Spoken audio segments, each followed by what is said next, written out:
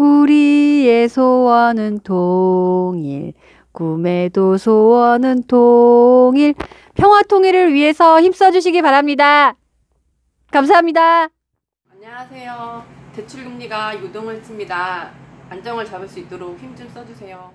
네, 안녕하세요. 이번 지방선거를 통해서 바라는 점이 있다면 교육에 좀 더 신경을 써주시고 어, 좀 사각지대에 있는 친구들도 같이 함께 어울릴 수 있는 그런 사회와 또 어르신들 복지에 관한 것도 좀 신경을 많이 써주셔서 서로 같이 함께 융합할 수 있는 그런 어, 나라가 될 수 있도록. 안녕하세요. 저기 대한민국 국민 김미란입니다.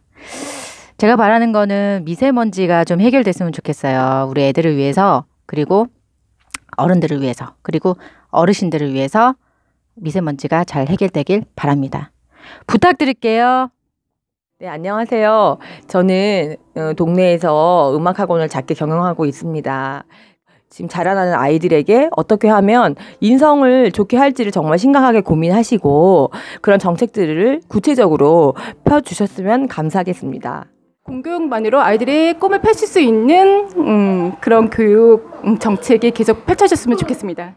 우리 아이들이 다니는 학교 가는 길이 그리고 동네가 안심하고 다닐 수 있고 놀 수 있는 안전한 곳으로 만들어 주셨으면 좋겠습니다. 동북구에 야구장 만들어 주세요. 우리 서울 초등 서울청덕 초등학교에 잔디를 깔아주세요.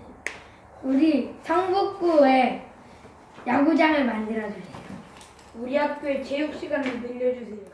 싸우는 모습은 이제 보여주지 마시고 국회의원장에서 소통하고 국민들을 위한 진정한 토론을 하면서 좋은 결과로 이 국민들을 위해 힘써 주시길 바랍니다. 그냥 진정한 민주주의는 국민에게 나오는 소리라고 생각합니다.